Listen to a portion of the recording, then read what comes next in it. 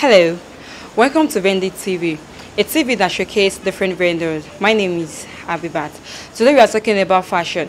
According to the editorial policy of fashion theory, the genre of dress, body, and culture, fashion is defined as the cultural constructions of the embodied identity. And of course, today we are meeting with Mr. J, the CEO himself. If you can see what I'm putting on, this is one of his brand. Yes. And today is going to tell us more about his business.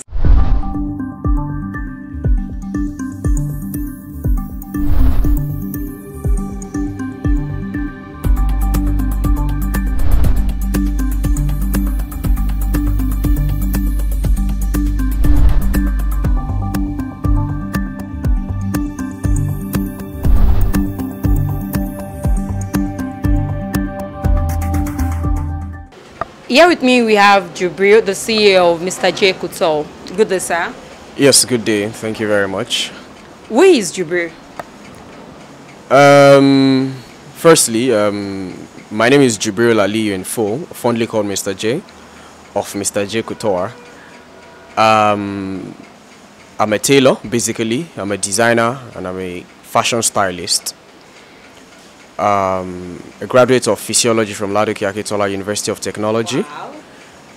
Um, an MS, MSc holder in um, community medicine, reproductive and family health track to be precise. Um, what more would you like to know? Oh, okay. Mr. J, what makes you unique from others? um, well, one thing is um, I, I try as much as possible to. Um, I really don't try to even compete with others. I try to do my thing. And um, I have a mentor who says, um, your work hard so your product speaks for you in your absence. So, me putting all of the focus and attention on creating beautiful pieces is actually one thing that has really, really, really brought us to where we are today. I don't compromise on giving out quality. I don't compromise on um, the finishes. There are sometimes we would have to ditch a particular piece because I am not satisfied with the look and it is not correctable. Okay. So staying on dishing out the best is actually one of the things that had really brought us this far. So who is your mentor? Okay, I call him um, Mr. Charles, Mr. Charles of Africana Couture. He's a designer in Abuja. Okay. Um, what kind of market do you target? Well, usually we we target the C um, C class of the economic strata, Okay. and then the middle age from say age of um, 25 to like 40, 45.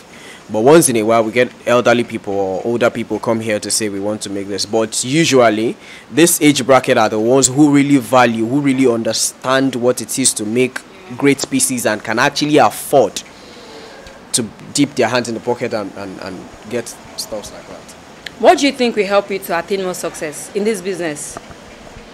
Um, well, um, the competition is quite um, and um, you know so high. But um, I reason every day on how to work more on the structure. If we have a better structure, and um, everything doesn't have to wait for Mr. J. Mr. J most likely doesn't even need to see all of the pieces before they are being sent out. Then it means that we can accommodate as much as possible with correct quality control. So in essence, because for example now you're, you're, we are making a piece and um, before they can send it out, they are waiting for Mr. J to see them to say are they okay before they can be sent out. They are waiting for Mr. J to come and cut this part because he's the only one that can do it. We've actually gone past a lot of stages. This is the eighth year in the business. Wow. So we've gone past some stages. I mean, I work more every day on on attaining, um, working more on having myself liberated, take myself off the business to an extent. I was still telling my, my people of recent that okay, I want to do this thing. I want to take a whole week off work. Let's see what you guys can come up with. Because to, to an extent, I've been able to draw the structure. They know the things I handle are are really not physical to an extent. They are just mental. Me seeing something and being able to say, okay, this can pass. No, no, no. You have to refix this. Supervise entirely and say, okay, this is next. Let's place this over that. Let's place that. Why? I mean, if I'm if I'm at home sitting, or probably I travel out of the town or out of the country, these are still things they can just call me on phone and I can tell them to go ahead or not. Um, what are the difficulties you face in this business? Well, uh, majorly, number one, number one, our tailors. In fact, if you hear top designers, if you ask them this question, it's most likely going to be the same. You get a particular person, we call them stylists. It, doesn't mean fashion stylist, anyways, but then you know the tailors you pay, you get them to work for you.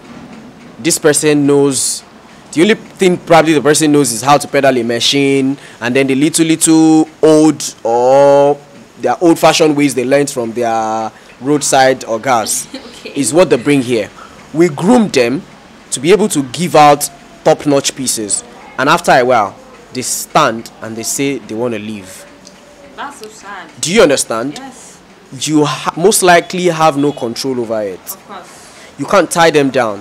When you start tying them down, they won't, they can't spend one month before you yourself will just let them go because they'll start Start acting acting up. They'll yes. mess your fabric up. They'll mess your pieces up. How has social media affected your business? Um, well, um, positively. I mean, I mean, a whole lot. Aside referral, physical referral, when somebody says, um, ah, I like this you're wearing. Who makes it? Who makes your Who makes your pieces or who makes your trads? And then they're like, oh, ah, Mr. J, blah blah. Okay, can I have his contact? Aside that physical referral, what social media does in our lives. I mean, we, uh, our generation, we are quite lucky. I can't Yes. imagine. I can't imagine um, doing this some seven, ten years ago when social media hasn't really gotten this um, popular and useful. I don't know. I, I can't count number of people we get from Instagram. You are chatting via WhatsApp. You're exchanging media. You know, you, you understand me. understand, yes. I go onto Twitter at times, post pictures, promote, Your and at least business. I had like four, five people in my DM saying, "Okay, I like I this. like oh, you are in yeah. Ibadan. Blah blah blah. How much is it? This and that." So, um, social media has really helped in a whole lot of way. To be honest, positive way. I can't even tell. I can't remember if there had been any negative effect or any negative way social media has um, affected us. Beautiful. Um, have you ever thought about giving up? Like this thing? Eh, I'm not doing it. I'm tired. I want to go back to my furniture business, any business. Have you ever thought about, or maybe going back to your schooling, whatever, whatever you learn? I was on a radio show one time, and then this same question was asked, and I remember the answer I gave, and it had not changed. It's been over a year, and it has not changed. Changed? I had never for a second regretted learning this or doing this. I had Aw, never for a second so felt I'm done. Wow. No, not even no, not even I'm done. Why did I even do this? No, no, no. Let me dream of, you know, in, inside your dream, you are thinking, About can I actually, can I actually be done? You see, it's it's far. Yes. Rather than saying I'm done, you are dreaming of thinking that you are Oh, done. It had never happened. As in that, it it if, if even if you dream that you are done, you're gonna wake back up to Mhm, reality. But inside your dream, Yes, you are not not even thinking. not- no, no, mhm. no. It had never happened. It had never happened. In fact, I'm always seeing myself like, this is just what God wants me to do because some things happen. I can see you are doing good. Thank just, you, man. Just look at no. Mm-mm, you're doing good. Thank you, look thank at you, him. In you, fact, I'm getting my raise my husband now, so you can style him. Yes. Slay, slay, he'll slay. Ah. So, so to be honest, I had never, I had never felt like giving up or regretted getting onto this line. Never ever. Okay, lastly, let me ask this. How do you combine your colors? Okay, maybe someone entered into your office and then he said, Mr. G, I'm having a wedding, but I don't know how to mix color. Okay, I, I think I want something different for my neck, something different for my, maybe your suits, the pants, the shirt. Like, how do you, have you ever thought about, okay, your skin, maybe their skin matters when you're trying to pick a particular color for your customers? Okay. Um. Some people will come to you and say, "Baba, you are the designer. Do anything." I tell them, "No, No. I cannot do anything. I still need to get some information from you. What kind of person are you? Your personality goes a long way. Yeah. What if I say I want to make something for you and your personality doesn't go Go with it. go with it? Yeah. Are you a conservative person or are you liberal? Are you in between? Somebody says I want a white agbada and then I'm saying say no more. And then I went to put black embroidery on it because I want to I want to impress you. And then you are if you're, you're the conservative type. I do I don't want to show up at a particular place. I'm an, I'm the 1st mm-hmm. person everybody is looking at. Yeah. And then I had used black to make your embroidery. It is going to mm-hmm. happen. Of course. Do you understand? You. Very, very. And then I asked you, what is your personality? Okay, for example, this is what I mean. If I have a white agbada, would you want me to use a matching color of embroidery, like white on white? Or would you want me to do ash, something subtle, or gray, or black? If I can use black, then it means I can use something like rose gold Okay. or burgundy or those ones that would those really contrast. And then you're telling me, ah, no, no, no, no, I don't like all those ones. I want to like. Now you see why, I need. I So don't know your personality. yeah. Do you understand? So when anybody comes in here, I'm asking them what their personality is. I want to know the kind of person you are. I want to know what you like to see on yourself. Some people will be dark and they'll still tell you what they want to wear is black. yes, Yes, when they wear it, when they wear it and they'll still look good. But compared to somebody that is fair, somebody that is fair will tell you, I don't like to wear black because it looks too catchy on me. And then this person has come to you to say, do your thing. And mm-hmm. you think because this person is fair, you can make black for them because it will pop. Yes. And apparently, this person doesn't like it. True. So I still consult with you to know your kind of taste because I don't know you. I don't. I know nothing about your personality. Yeah. It's a different thing if I can look at you and tell you, okay, so so so so will look good on you. Yes, it will. Yeah, but would you like mm, it? Yeah, true. Would you be able to rock it after that particular day because you don't have a choice? There are some things you wear because you don't have a choice at that particular time. This is what they have made, and I'm wearing it to this particular occasion. But after that, would you be able to wear it? Hey, long sleeve, cufflinks, long Mm-hmm. sleeve, cufflinks.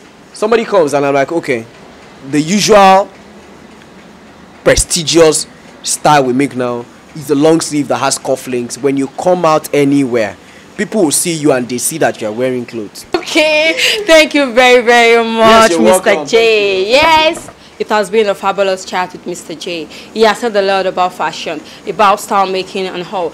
And you know, the most important thing is that you should make sure you follow us on all our social media platforms, on Instagram, on Facebook, on Twitter, at Venditt TV. And of course, this is really, really important. Do not forget to do what? Subscribe on our channel at Venditt TV for more and more lovely, fascinating episodes. Thank you.